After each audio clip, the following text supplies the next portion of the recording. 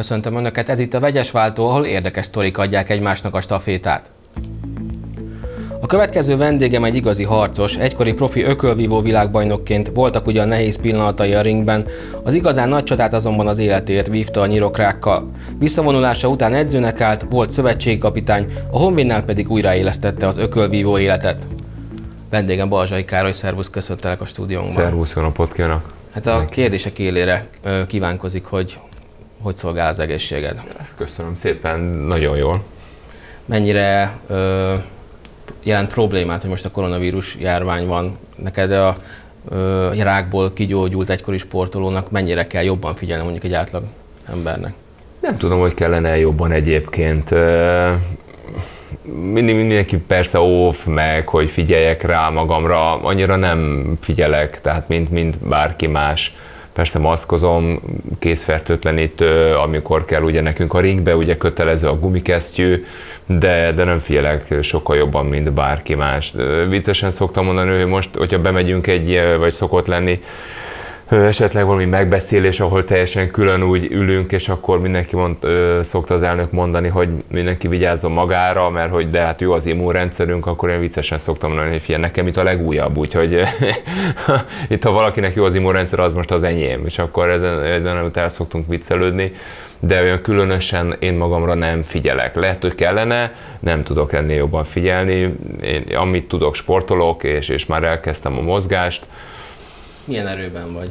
Én jó erőben vagyok. Most az elmúlt néhány napom az viszonylag sűrű, úgyhogy ha látszik az arcomon a fáradtság, az csak azért van, mert, mert reggeltől estig jövök, megyek és ügyeket intézek, de hihetetlen mód élvezem, úgyhogy ez jó, ez ilyen kellemes, vagy ilyen jó, jó fáradtság, ilyen hasznos. Hogy említettem a Honvéd ökövívó szakosztályát, újraélesztettétek, szakágvezető vagy, milyen változások történtek ott az elmúlt időszakban, vagy a pár éve kezdted ezt a munkát? Igen, ugye a, a, a volt szövetségkapitány dr. Kovács László, aki, aki az ötletet adta, illetve hát vele kezdtük el ezt az egészet építeni. 2010, igen, 2017 környékét írtunk, amikor mondta, hogy figyelj Karcsika, meg kéne csinálni a honvéd ökülívását újra, mivel ő is honvédos volt, édesapám honvédos edző volt, ő akkor volt ott ugye fiatal, és mondtam, hogy figyelj Laci, oké, én benne vagyok, majd beszéljünk róla. És akkor eltelt fél év, és akkor egy... Már szövetségkapitány is voltál. Akkor, utána igen, akkor már szövetségkapitány voltam, vagy, vagy, vagy amikor még együtt csináltuk ugye vele a, a felnőtt válogatottat, és akkor mondtam, egy, egy versenyről jöttünk haza, és mondtam, hogy figyelj Laci, bár mondom, na akkor most, most, most van időnk, most akkor induljunk el. És akkor kértem időpontot a Gerge Istvántól, ugye a közügyvezető elnöke a, a, a Budapesti Honvédnak, akivel én ugye még Aténba is már megismerkedtem, ugye, hogy ott együtt voltunk az olimpián, tehát onnan az ismerettség, és akkor fölhívtam, hogy fia István, mondom, egy ilyenről lenne szó, borzasztóan, örül, borzasztóan örült neki, és akkor mondta, hogy menjünk be. Kettő dolgot kért, egy gazdasági, illetve egy szakmai tervet, azt kidolgoztuk, letettük az asztalra, és akkor elkezdtük úgymond az építkezést és a közös munkát, hogy képzelem el, hol képzelem el, az egy ilyen nehezebb falat volt, hogy egy edzőtermet ott a, a környéken nekünk Hol biztosítani, csak, a, esetleg a biztosítani tudják. Sok, ö, sok lehetőség volt, hogy akkor a kerületbe valami termet bérelni és ott elkezdeni, viszont én ragaszkodtam a Dózsa György út 53 szám alatti központi telephez, és akkor ott a, a birkozók, illetve a, a birkozók által felújított, de inkább a, a tornászok által használt kis termet, azt, azt, pró, azt, azt ott kicsikartam tőlük, és, és akkor azt szépen berendeztük, illetve igen, berendeztük, vagy felújítottuk, illetve hát ott kialakítottunk magunknak egy ökölívó termet, tehát a kosárlabda, a tornacsarnoknak a, a komplexumába vagyunk mi még, mint a körvívás. De a fiatalok vannak megcélozva, vagy ilyen versenyistáló akar lenni a Honvéd? Ez ugye vegyes, tehát ez több, több szintből áll. Az elnöknek most már az elsősorban az utánpótlás és a tömegbázis, illetve hát az utánpótlás és a fiataloknak a fejlesztése, a fejlődése a, szempont. Én nagyon szeretném, illetve hát alapvető célom az volt, hogy egy olyan minőségű ökölvívást hozzunk létre a BHS-be, hogy az egy kiemelkedő szakosztály legyen az országba.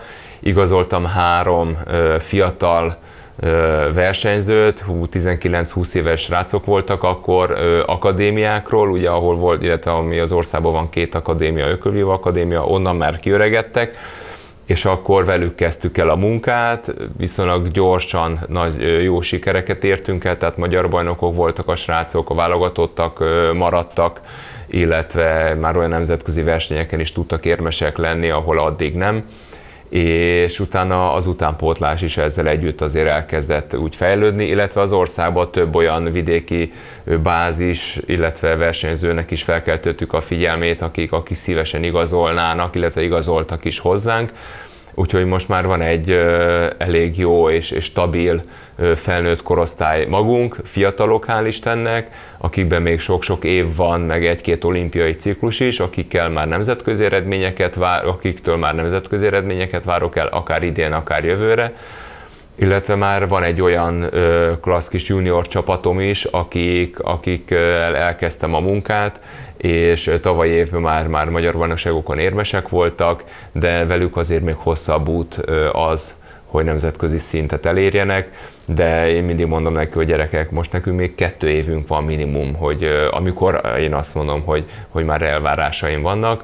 A harmadik pedig, ami most még sajnos nem működhet, a, a rekreációs ökölvívás, hobbybox, valaki így hívja, és akkor az meg a, a közönségnek, illetve szülőknek, illetve olyan nem versenyszerű sportolóknak, akik az ökölívást ki akarják próbálni, meg akarják tanulni, vagy csak mozogni akarnak egy jót, feszültséglevezetni verseny, munka előtt vagy munka után, nekik is alkalma van a Budapesti Honvédnek az ökölívó termébe bejönni, és és akkor ott mozogni egyet, és van még egy szint, amit még mindig nem tudtam elindítani, mert ugye ebbe a pandémiás időszakban nem lehet.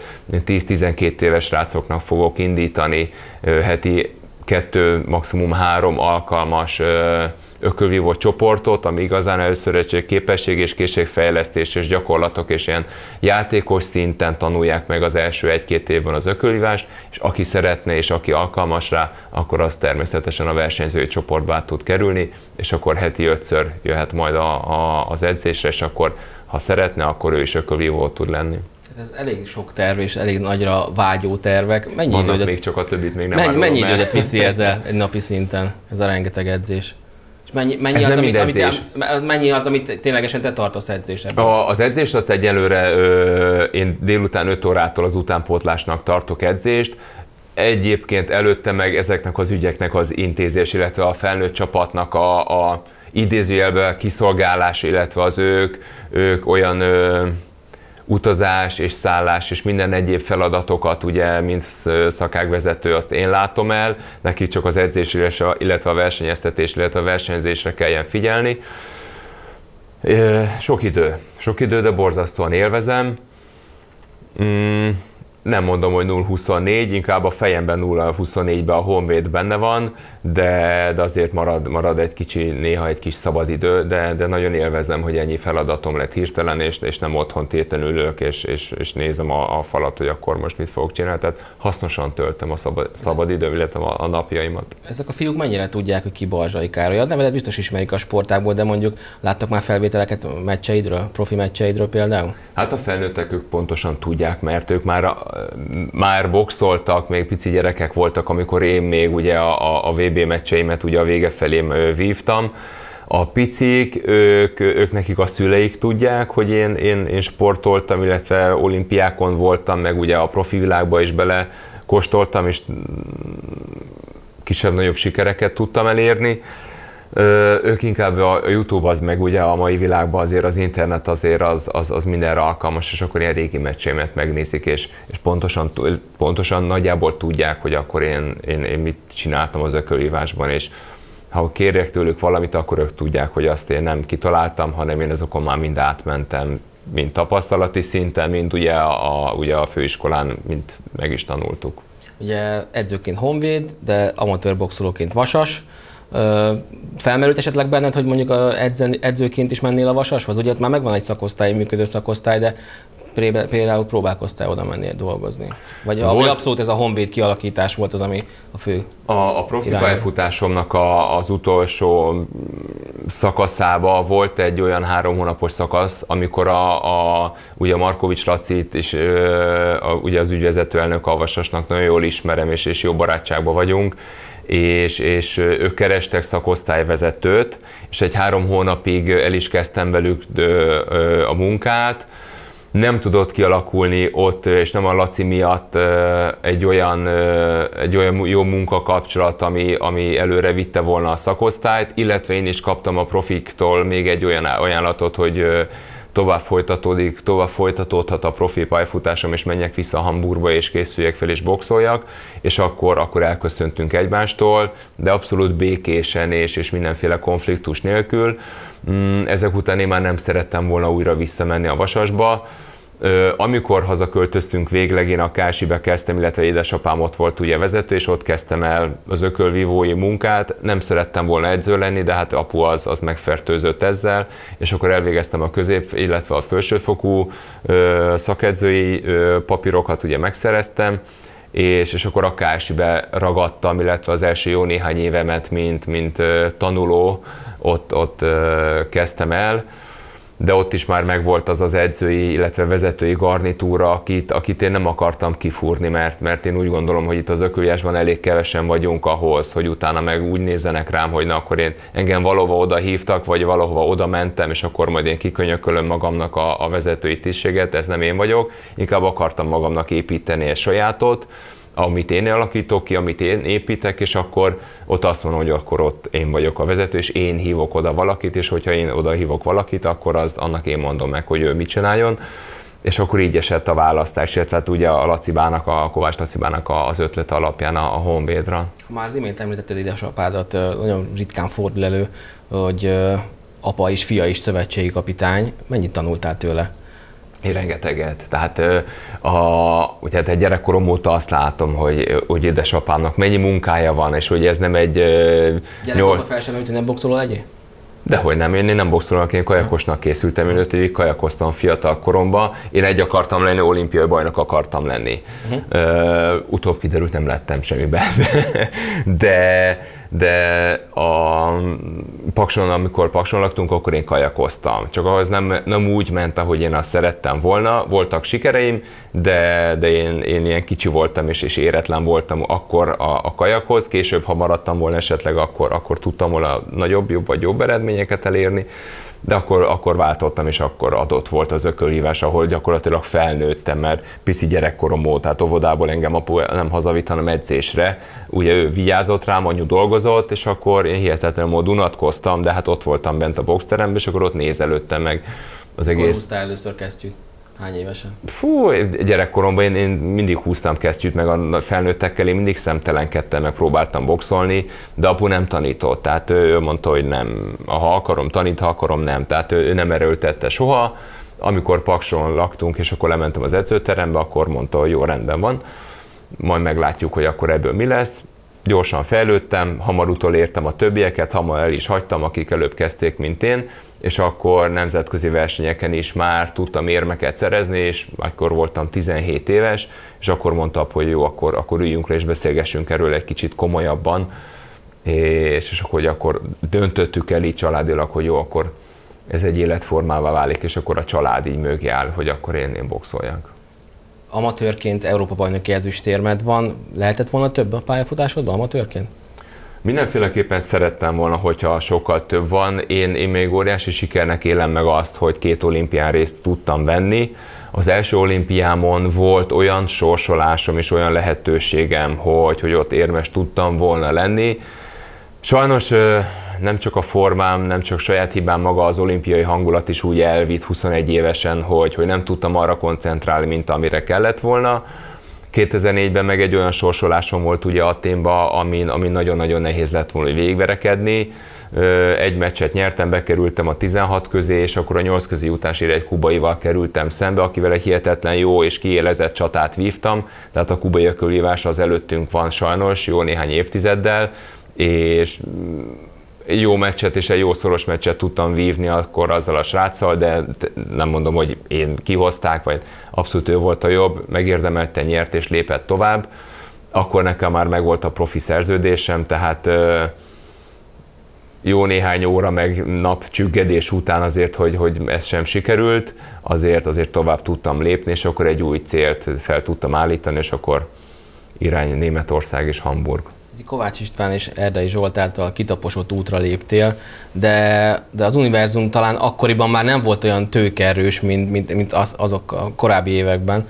Mennyire volt ez érezhető, amikor te kimentél? Vagy akkor még minden rendben volt, amikor te kiszerződtél? 2004-ben még tökéletesen működött minden, sőt, akkor még, még erősen fölfelé ment, uh-huh. mert a következő év 2005-2006 akkor egyszerre volt, hogy három vagy négy német, a Prohétal is, meg a Szategyel is, meg a, a, a német állami CD, vagy a CDF-el is szerződése volt az univerzumnak.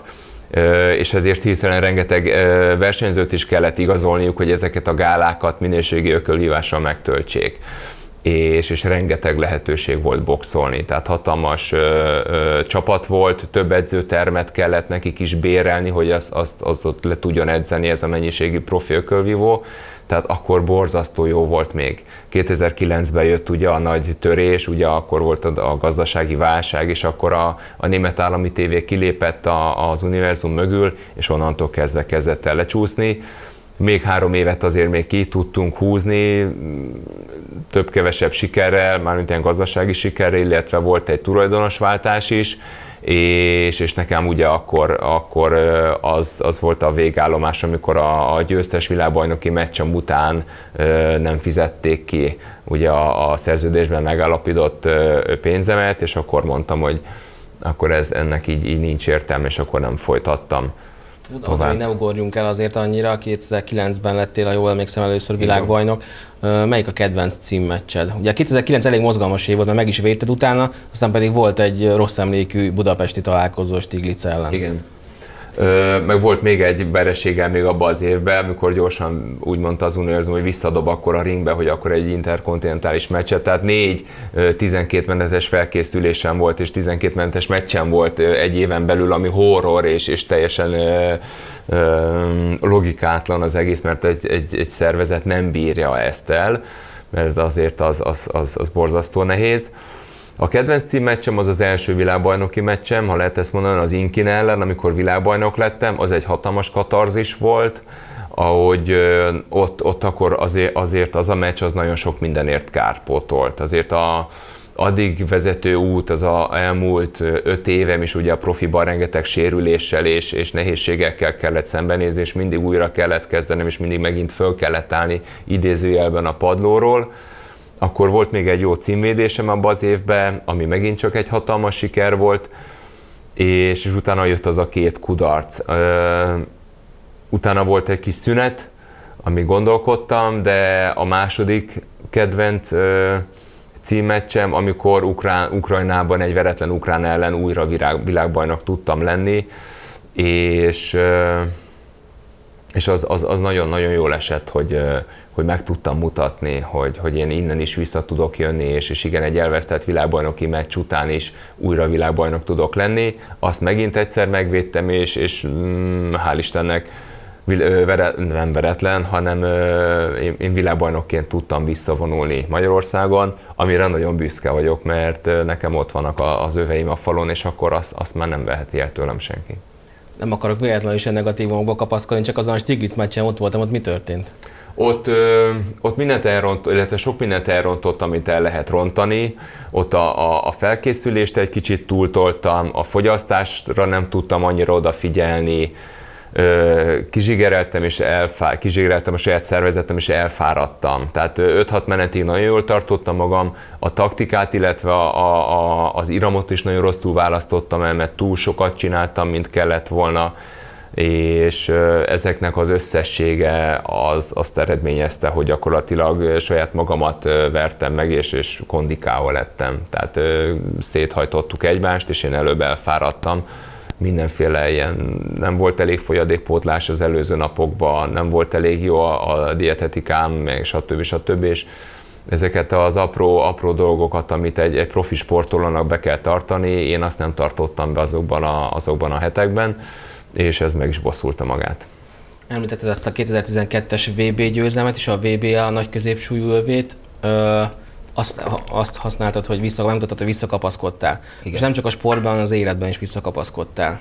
2014-13-ban visszavonultál, 2014-ben bejelentetted, hogy nyirokmirigyrákod van. Igen. Ezt, ezt mennyire volt, mennyire ijedtél meg, amikor ez kiderült? Hát nagyon. Hát azért az embert lesokkolja, hogy, hogy kap egy ilyen hírt, főleg úgy, hogy előtte azért jó néhány hétig már, akkor már a Kásivel ugye dolgoztunk, dolgoztam már, már jó ideje, és volt egy, egy a Boxing Van nevű ilyen csapatbajnoki sorozat, ugye ez csehek, szlovákok, szerbek, illetve hát a Magyarországon is több csapat is indult, és, és jártuk, a, jártuk ezeket az országokat, meg a városokat, és, és a Kásivel volt egy nagyon klassz kis csapatunk.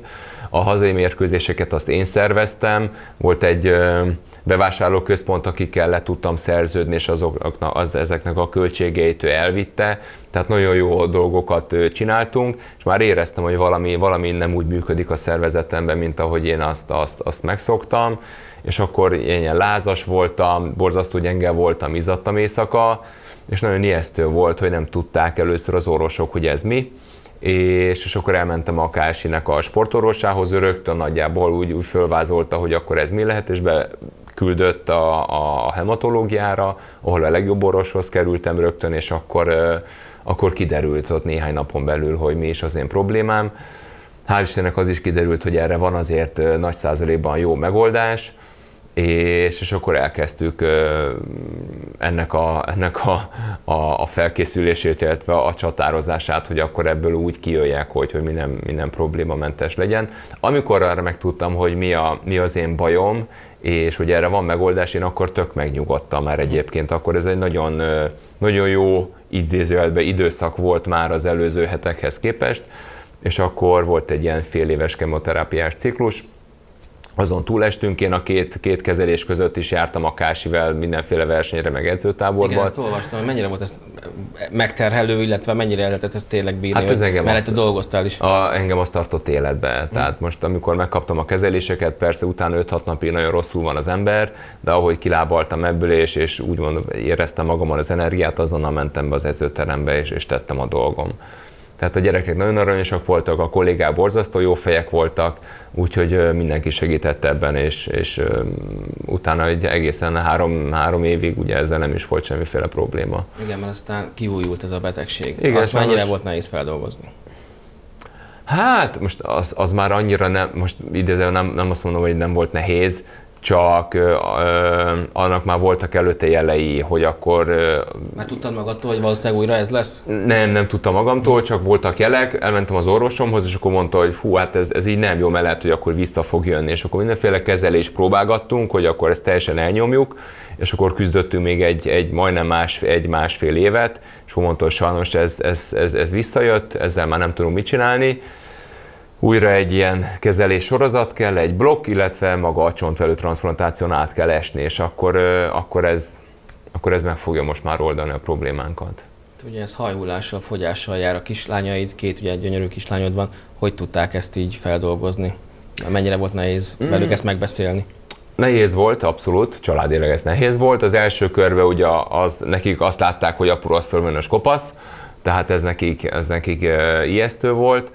A második részben, ugye, ami két évvel ezelőtt volt, az már nem azt mondom, hogy könnyebb volt, de ott már ők nagyobbak voltak, tehát sokkal jobban lehetett velük kommunikálni. Persze, amikor az ember majdnem négy hétig bent van egy ilyen steril boxba, és üvegen keresztül kommunikál ugye a családdal, amikor van ereje és tud, akkor az, az, az nehéz napok voltak, főleg a feleségemnek de, de hál' Istennek utána ez, ez, a, ez a jó néhány hét ez így lement, és akkor utána otthon tudtam, ugye száz napig kell nekem így külön lenni, egy ilyen, megint csak egy ilyen steril szobába, de, de akkor már tudtam velük találkozni, tehát ők hazajöttek, akkor, akkor, akkor már valamiféle kommunikáció, meg tudták, hogy otthon vagyok nekik, az már úgy könnyebb volt és akkor meg már tudtuk, hogy minden rendben van. Tehát innentől kezdve már csak a regenerálás, illetve hát maga az időt, meg a magamra való figyelmet kellett fordítani, az időt kivárni, és akkor, ahogy lejárt a, a 100 nap, amit nem tartottam be, mert azt hiszem 92. nap már egy versenyen voltam kőszegen,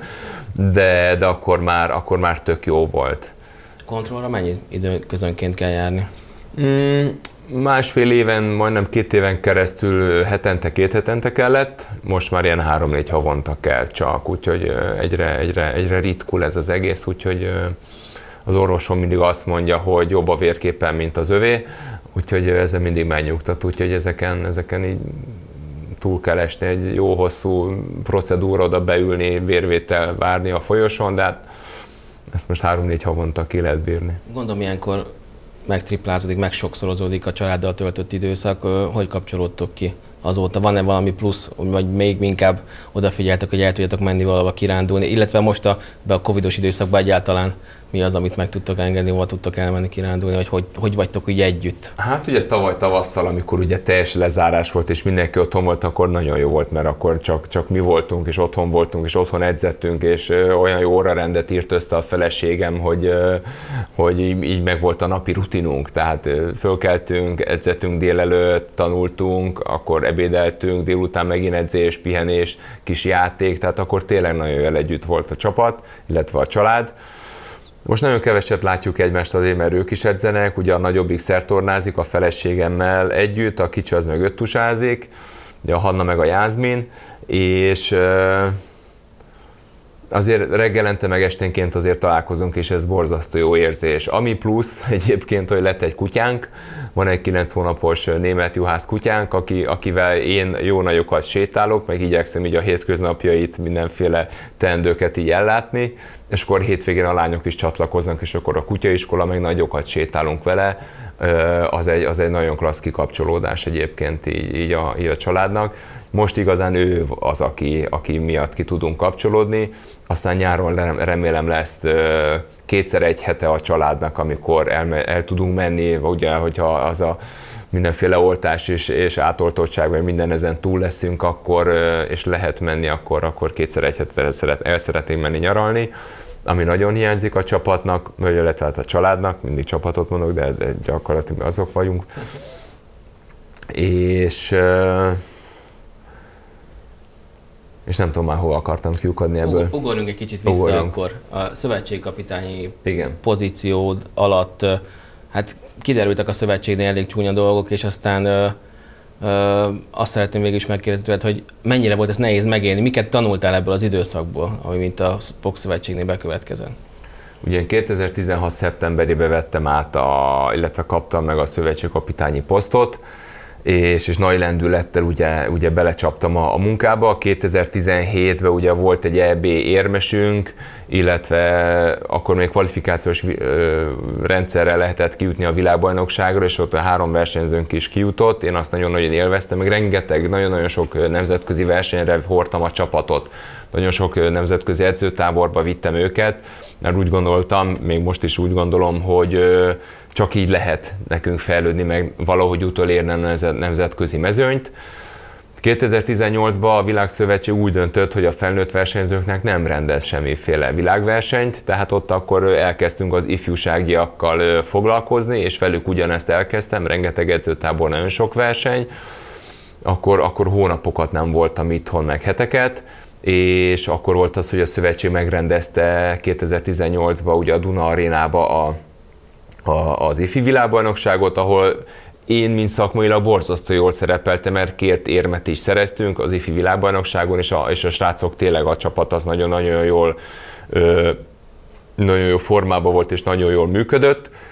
Sajnos utána egy szó nem esett erről, mert mindenki arról volt elfoglalva, hogy hány millió tűnt el. Először az, hogy milyen jól megrendezték, utána meg arról volt szó, hogy mennyi pénz tűnt el az, hogy a srácok vagy az edzők milyen borzasztó jól dolgoztak, nem csak én, mint, mint edző, hanem ugye a klubedzők is, meg a, a, a srácoknak a klubedző és meg az egyesületek milyen jól dolgoztak, és milyen jó nagyokat léptünk előre, arról nem volt szó soha, csak arról ugye, hogy mi minden tűnt el, és akkor innentől kezdve az egész rányomta a, a következő évre is már a bélyegét, nem tudtunk már évvége felé edzőtáborba menni, nem tudtunk versenyre utazni, és akkor 19-ben év, év elején ugye én ki is estem ugye a betegség miatt, aztán, aztán amikor visszatértem, akkor meg már elnökváltás volt, és akkor onnantól kezdve már elkezdődött egy idézőjelben egy tisztújító folyamat, aminek ugye az lett a következmény, hogy a komplet vezetést, akik ott volt addig, azt ugye lecserélt, le, lecserélték, illetve lecserélődtek,